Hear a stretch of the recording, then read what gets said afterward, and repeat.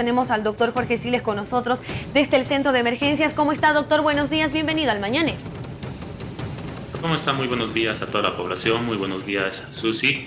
Sí, eh, bueno, bien, este tema, ¿no? De, los hechos que se ha suscitado allá en la comunidad de Yampara. Dentro de estos dos días que, de festividad que se ha tenido allá en la comunidad de Yamparaes, se ha tenido un total de eh, una veintena de pacientes entre sábado y domingo, de los cuales el día sábado se ha referido un total de tres pacientes.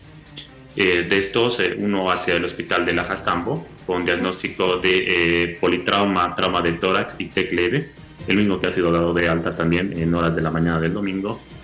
Dos pacientes que han sido referidos hacia el hospital Santa Bárbara, uno de los cuales se revestía un trauma, un TEC leve y una herida tipo scalp en todo el cuero cabelludo, el cual también ha sido dado de alta, pero eh, se ha referido también una, un paciente con trauma de tórax penetrante, el cual eh, sí ha sido internado y, en este momento se encuentra en servicio de cirugía.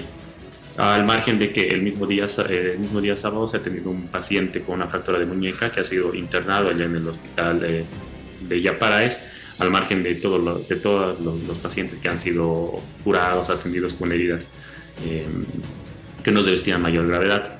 Ya para el día de ayer eh, se ha tenido también la misma cantidad de toros, de los cuales igual se ha, se ha, tenido pacientes para hacer la coordinación y la deferencia hacia nuestro municipio, de los cuales eh, han ido llegando en el transcurso de, de la tarde-noche y la madrugada hacia el Hospital Santa Bárbara, de los cuales eh, hay un trauma, de, trauma ocular que ha llegado en movilidad propia y eh, hay una fractura tibioperitonea expuesta, el cual también está internado en ese momento en el, bueno, está todavía haciendo sus exámenes y estudios complementarios en emergencias del Hospital Santa Bárbara. Sí, se ha tenido ese hecho muy lamentable, ¿no? De un paciente de 23 años aproximadamente, sexo masculino, que eh, fue en primera instancia atendido por la ambulancia del, del centro de Yamparaes y llegando a hacer el diagnóstico de un TEC grave, con trauma abdominal y eh, un choque hipovolémico grado, un choque hipovolémico grave.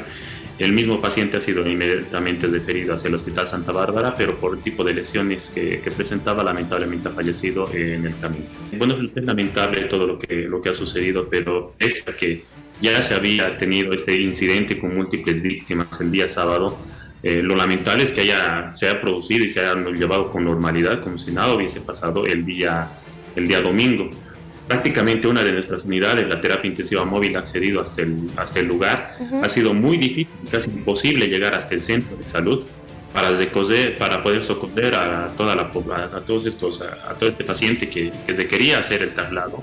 Y ha sido difícil el acceso precisamente porque no había, eh, los mismos pobladores que acaban pasar, estaba, eh, estaban descontrolados, se puede decir el, municipio, pero pese a, pese a haberse rebasado en, todo el tema, de, en todo el aspecto de la seguridad, eh, aún así se ha, se ha, llevado a cabo este, esta corrida de toros en día, el día domingo, ¿no? Eh, es muy lamentable lo que ha pasado.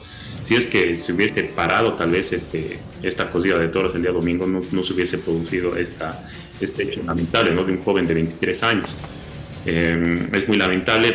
Los pacientes que iban llegando hacia, hacia el hospital eh, sí tenían un aliento alcohólico. No podríamos determinar nosotros si, si estaba o no estaba en estado de ebriedad, porque eso ya se hace con un test de, de alcoholemia y un examen toxicológico, pero sí nosotros determinamos de que estaban con, con aliento alcohólico. Le agradecemos por toda la información. No tiene por qué, un saludo cordial.